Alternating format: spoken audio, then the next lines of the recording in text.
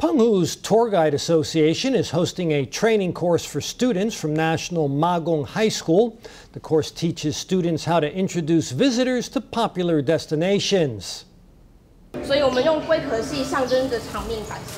These tour guides introducing the unique history and special characteristics of Penghu's Tien Hou Temple are high school students. 这个东西啊，叫做释地文，然后“世”字啊，取谐音就会变成哦，事事如意。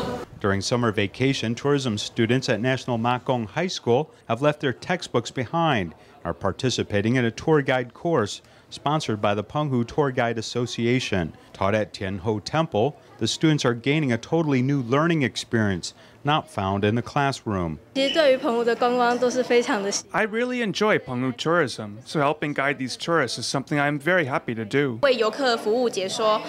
There is some basic tour guide training, and we listen to other tour guides and absorb some of their knowledge. Aside from getting the chance to practice the real life skills necessary to be a tour guide, these students are learning more about their own home.